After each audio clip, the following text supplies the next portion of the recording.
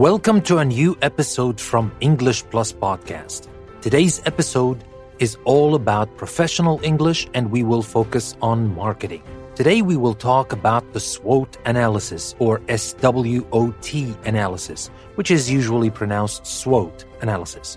Now we will learn about what SWOT analysis is and we will have a case study about a company that runs highway service stations. So without further ado, let's start right away by talking about what SWOT analysis is. Now, before entering the marketplace, it is essential to carry out a SWOT analysis. This identifies the strengths and weaknesses of a product, service, or company and the opportunities and threats facing it. Strengths and weaknesses refer to the product itself and are considered as internal factors. The external factors referring to the marketplace are opportunities and threats. Now, to understand this better, we will have to apply it to a real life situation or a case study as we call it. And for that reason, we have with us Ben, who's going to help us, and he will take the role of a senior marketing manager for this company. Now, remember, the company we're talking about here runs highway service stations. So we're talking about fuel, we're talking about other things we can add to the service station because the service station does not only supply customers with fuel, but with other things as well. So you can imagine now we will start to think about this fictional company and we will think about strength, weaknesses, opportunities, and threats. So, Ben, welcome back to the show. Thank you very much. Glad to be back. So you are the head of marketing for this company. And I want you first to tell us about the importance of running a SWOT analysis and why is it important before you start thinking of providing new services or maybe opening new branches, etc. Well, it is very important because if you just go on and start providing a new service or let's say opening a new branch without studying the market, Without starting with yourself, you have first to understand your strengths and weaknesses. And here you will have to build on those strengths and maybe put them as the focus point in your marketing campaigns. And then talking about the weaknesses, maybe some weaknesses are unavoidable or out of your control, but maybe there are some other weaknesses that you can address and fix before you launch this new product or service. So, what about external factors then? Why are they important? Well, that is obvious because think about it. If you want to go into the market, there's always going to be competitors. And if you don't think about the strength of your competitors, and if you don't think about the places your competitors haven't taken full advantage of, you're going to come short and you're not going to be well prepared. So before we start talking about the strengths, weaknesses, uh, opportunities, and threats of your own company, are you saying that the SWOT analysis is something that you do at the beginning of a project and then it becomes fixed in stone and never changes? Not at all. It is important to start with the SWOT analysis to have a clear idea of the market you want to penetrate, but the SWOT analysis is a flexible tool in your arsenal you need to revise it all the time and change because some points that used to be strength might turn into weaknesses or vice versa. And some opportunities might not be opportunities in a year from now. Maybe at the start of a project, they were opportunities, but after a year, they're not opportunities anymore. And there are threats that you cannot simply predict. As time goes by, new threats might appear and you have to assess these threats. So this is not set in stone. The SWOT analysis is not something that you do once and forget about. You have to revise it. You have to work on it all the time. And there are some things that are out of your control, as we said. Maybe some new opportunities came. You have to address them. Maybe new threats came along. You have to address these as well. And there are some positive things. Maybe some of your weaknesses became strength, or you eliminated some of your weaknesses. You added some of your strength. And at the same time, you have to look at the negative sides. Maybe some of your strength that used to be strength at the beginning of the project are not strength anymore. Maybe they have become weaknesses because you have not taken care of this strong point you have and you have not built on it. Or something happens and you lose an important employee or you lose an important branch or some kind of deal you have with some companies that you used to consider as a strength for your company and it's not there anymore. So you have to address that all the time. The bottom line is that the SWOT analysis is a flexible analysis that you need to work on over time and you need to add and remove things or maybe shift them from one area to the next over time based on the circumstances and how they change. All right. So one last thing, it might be obvious, but we said SWOT analysis and the SWOT analysis is all capital S W O T. So, what does that stand for? Maybe we've been talking about that for a while, but could you tell our listeners what SWOT stands for? Well, that's very simple, of course. We've been talking about strength, weaknesses, and there goes the S and W, the beginning of the SWOT. And then we talked about opportunities and threats, and there goes the O and the T. So, altogether, strengths, weaknesses, opportunities, and threats, that makes up the SWOT analysis, S W O T. Perfect. So now to understand this better or to understand that in a realistic situation, let's remind the listeners again that your company runs a highway service stations. So when you start talking about your strengths and weaknesses, we will have an idea why this is a strength, why this is a weakness based on the service you provide. That's right. So let's start by talking about your strength. What do you consider as strength for your company? Well, first of all, let me start by saying that we have superior distribution network. We have one of the best, and we are the specialist in long distance petrol needs for truck drivers. We have experience, knowledge, and we have skill. And our consumers see us as a quality brand. In addition to that, we have a special loyalty program, and it's a kind of an innovative loyalty program that's unique in the market. And we're also a profitable company. We're making money. We're not new in the market. And we have some cash to use. If we want to have a big launch or something, we have cash because we're already making money. And also, our brand is highly recognizable. I can even call it a global brand. In a nutshell, these are the strengths that we have as a company. That's perfect. And here, when you talked about the strengths, let me remind our listeners that we're talking about strength. Now we will talk about weaknesses. And that's the first part of the SWOT analysis, which is the internal part. We're talking about the internal factors of the SWOT analysis. We're talking about the internal strength. These things are internal. We're not talking about external factors yet. Now let's move on and talk about the second important internal factor, and that is the weaknesses. It's not just right or it's not complete just to think about what you're good at you have to think about what you're bad at or where you come short, where you need some work, where you need to improve. That is very important. You have to be honest with yourself. And remember, there's nothing personal about that. It's not bad to talk about your weaknesses. And especially this is in the environment of a company, a business. It is important to point out the weaknesses you have not for the sake of just pointing them out, but you have to come up with some solutions or some ideas how to fix or to improve on these weaknesses. So let me go back to Ben now. Ben, you told us about the strength and the things you talked about the superior distribution network, uh, uh, your quality brand, and this great loyalty program that you have. You're already making money, which is great, of course. And this is a quite impressive list of strength you have for your company. But now let's move on and talk about the weaknesses that you have as a company. What do you define as weaknesses that you have in your company? Well, to think about that, we have a quite impressive list as well. It's not just the impressive list of strength we have. We have an impressive list of weaknesses. Now, the first thing is our offer. You know, in terms of basic product, which is the petrol, we have an undifferentiated offer. Petrol is the same, whatever the brand. So we cannot differentiate in our basic product, which is the petrol, because it's almost the same, you know, just like we have some differences, but these differences are slight. So maybe here the range of our basic product is very limited or undifferentiated. And that is a weakness, in my opinion. And coming from that, we can think of also the lack of new products. We need more we have good products. We have a good set of products besides the basic product, which is the petrol, of course, or the gas.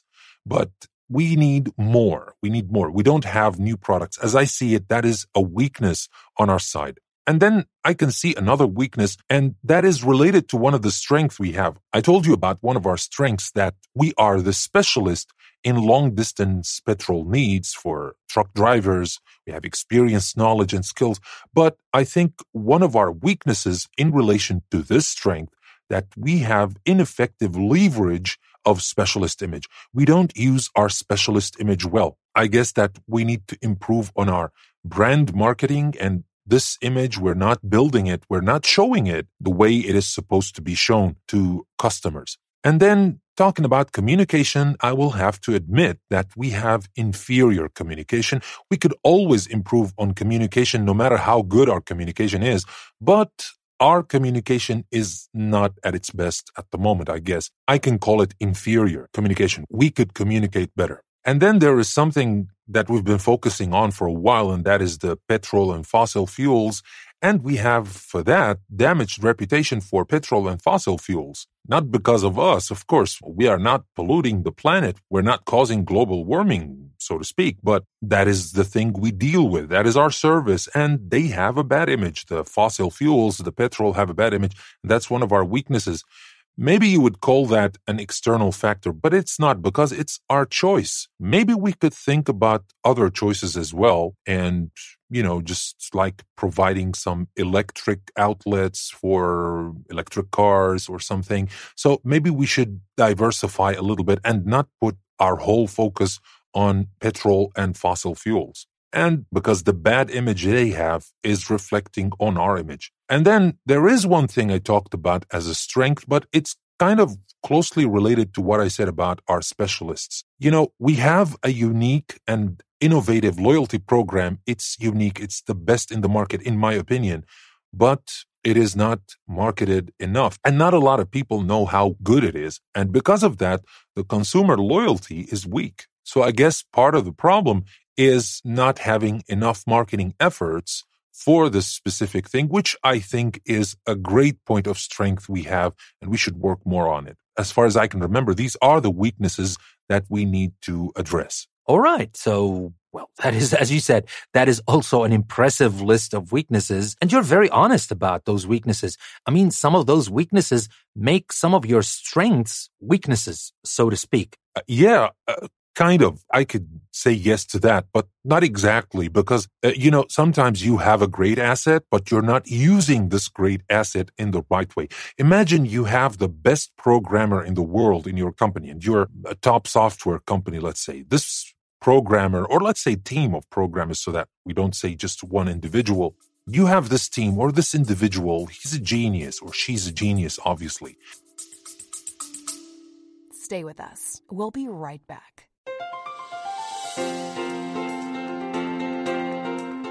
Looking to enhance your English skills while exploring a world of knowledge? Then English Plus Podcast website is just for you. Dive into diverse topics ranging from science to literature, history to business, and myths to modern insights. Each episode from our podcast or article from our magazine is a journey of learning and discovery designed to not only improve your language skills, but also broaden your understanding of the world. Join us at English Plus Podcast, where language meets limitless learning. Tune in today and take your English to the next level. Visit EnglishPlusPodcast.com to start your journey. English Plus Podcast, language, learning, enlightenment. Never stop learning with English Plus.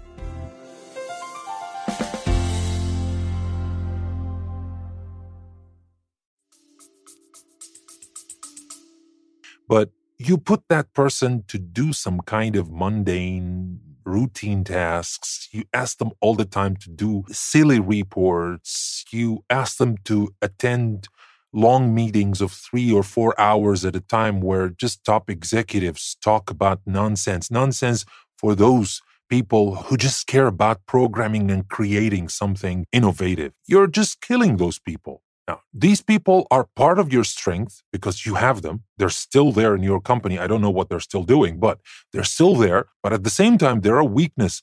They're not a weakness by themselves, but you're not helping them reach their full potential. And when they reach full potential, they're going to give you great ideas and great products. And they're going to be not only strength, they're going to be maybe the greatest asset you've ever had. But your weakness is not using your assets. So sometimes strengths can be assets that you have, but your weakness about this asset that you're not using your assets as you should. And you have to be honest with yourself about that. You can't lie to yourself. I mean, if you don't pinpoint these problems, who's going to do that for you? Who cares about your company more than you do? So it is necessary to be honest with yourself. Yeah, I see that. And that is a very important tip.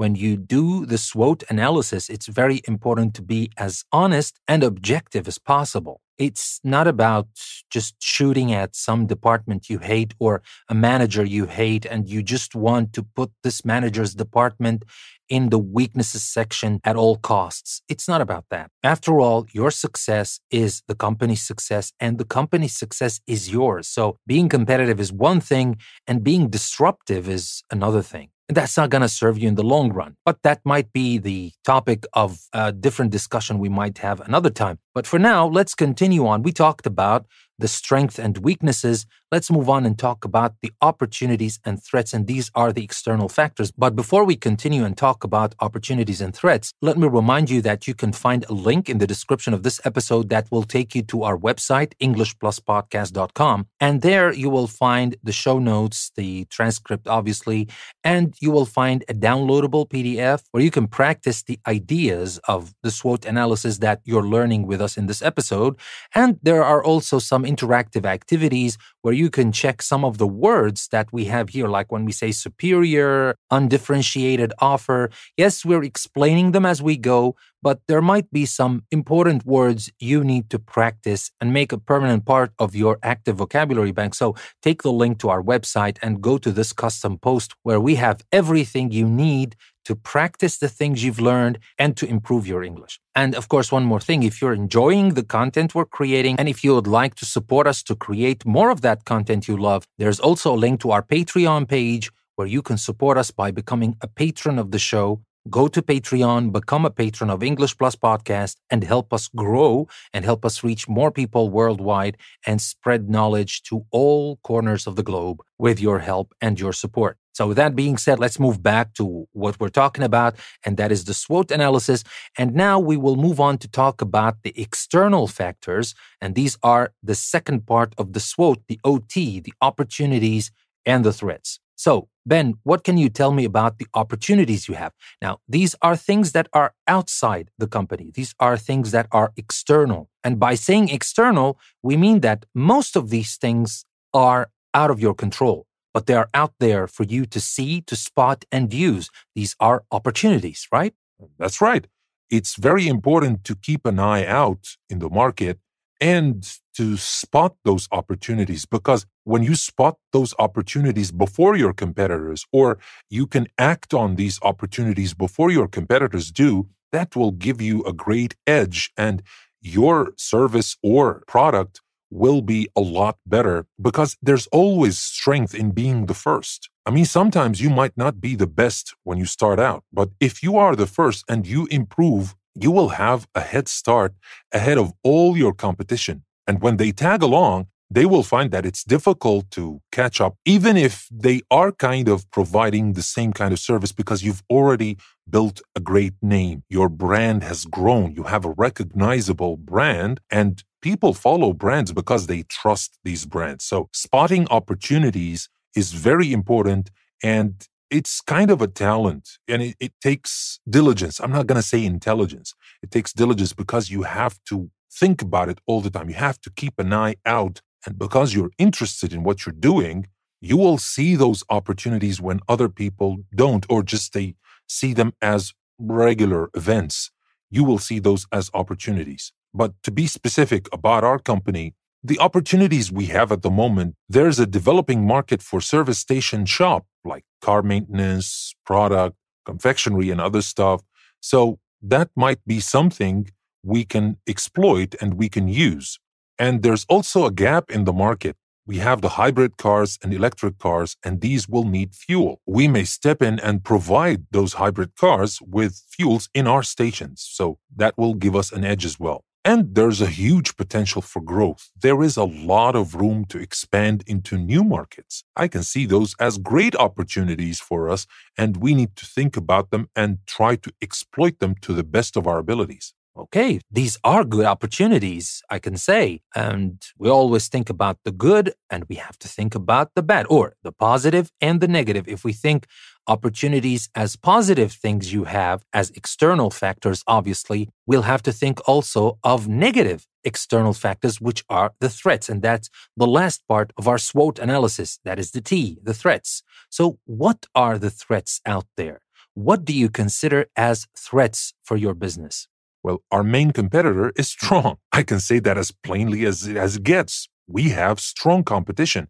We're not the only ones in the market. Yes, we're one of the best, but we're not the only best, or we're not the best actually. Sometimes our competition gets ahead.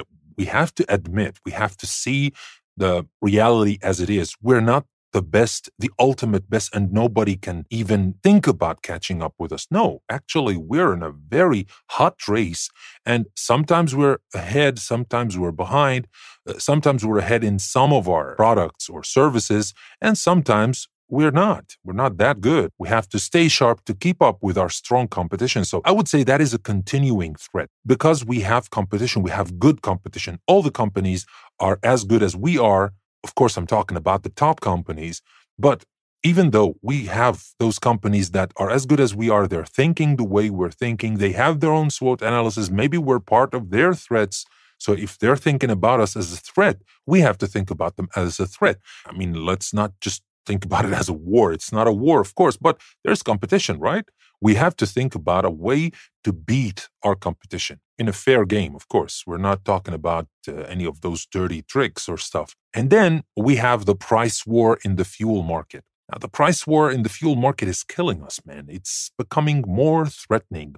And all our competitors are cutting prices. Sometimes that can be a real challenge. You know, just there's always this kind of balance between setting a good price and having a, a healthy profit margin. It's not always that easy with the price war in the fuel markets and with your competitors cutting down prices all the time. That can be a challenge and it's out of our hands you know just it's a threat. There's also the emerging trend towards hybrid cars and electric cars. Well this is kind of the same like strength and weaknesses you know yeah we can see it as an opportunity but it's also a threat if we don't act upon it if we don't do anything about it there's this emerging trend. And remember, I said earlier, we rely heavily on petrol and fossil fuels. So we're not there yet. We have not accommodated hybrid cars yet. They are a great opportunity, but at the same time, if we don't do anything about that, they will be a great threat for us. And there is also the consumer fears about environment and pollution. And that's kind of related, you know, because the awareness today, especially we're talking about environmental issues, is greater than ever. And a lot of people care, or at least I could say more and more people care about the environment than ever before. I mean, in the past, you know, you just wanted to get a car. You wouldn't care about the carbon footprint or anything like that. You just want a fast car, a cool car, etc. But now, no, people they're kind of more concerned about this. They care about their carbon footprint and they want to reduce it in a way or another.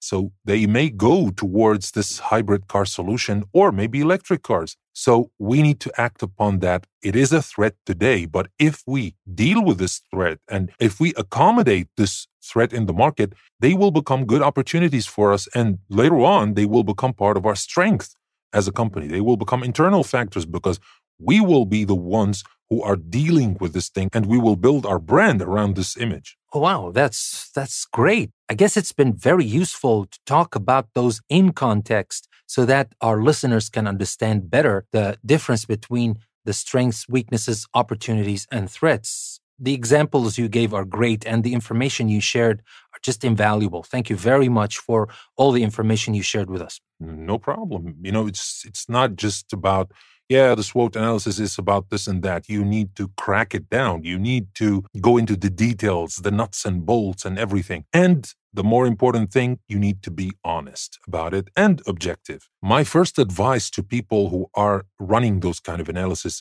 please don't take anything personal. I mean, if you have to name yourself or your department as part of the weaknesses the company has, just do it because you're pointing that out to senior management or maybe the uh, owners of a company. I don't know about your situation, but just do it yourself before anybody else does. And, you know, it's just about being honest and just having this will to work on these weaknesses. And moving to the external factors, you have to be vigilant. You have to keep an eye out for all these things that are happening. I mean, this is your business, this is your career. Maybe you're just calling it a job, you're just doing it for the money. I know. A lot of people would say that, but then after 40 years, they would still call this a job. I mean, man, come on, grow up. It's not about a job when you do it for more than a year. And you can't wait. You can transform this job into a career if you want. Just love it. And when you leave it, it doesn't matter. You can just go and do whatever you love. But while you're in it, just love it as much as you can because you never know. This might be the place where you're going to be for the long run. And by loving your job, you will keep an eye out and you will spot those opportunities. You have this kind of passion. You have this special kind of interest. You care. I mean, you care about these things, so you see them. If you don't care about them, they will just walk past you and you will never see any of those things, neither the opportunities nor the threats. I guess that's great advice we can give to all those people who are thinking about running SWOT analysis, especially when people are doing it for the first time. I guess the advice you gave is really valuable. But I will have to ask you for one last thing before we wrap up this episode. I want you to imagine that I am one of your employees, or I'm maybe all of your employees, and I want you to talk to me about this. I mean, yeah, we we have great points here in the SWOT analysis. We have great points we listed as strengths, as weaknesses, as opportunities and threats. But what would you say if you are presenting this information? Uh, let's say maybe I'm not a team. Let, let's say I'm the board. Just consider that I am the board of the company and you want to present this information to me. What would you say? Because I can think of SWOT analysis as just like this great chart that we can see. It's, you know, just like you have those four squares and it's perfect, you know, just seeing this as a chart and everything and putting it on a chart, but talking about it is another thing. And if you are great at drawing charts and filling them with information, but you're not that good at talking about them, that is a great weakness you need to work on. So let's give our listeners a taste of how an expert would talk about or would present this marketing strategy based on the SWOT analysis to the board. Let's say that I'm the board. What would you say? Well, I've done that many times. It's not a problem. And, you know, just since we just talked about them, so I can think of all the ideas. So I would say we need to exploit our strengths by making the most of our distribution network and loyalty program. If we can also build on strengths such as our brand image and current profitability, then it'll be easier to address or deal with weaknesses such as the lack of new products we need to anticipate the threat of new hybrid cars and seize the new opportunities this will bring in terms of providing service points for these cars. The potential price war in the fuel market poses a serious threat, and we will need to minimize the weaknesses this may create.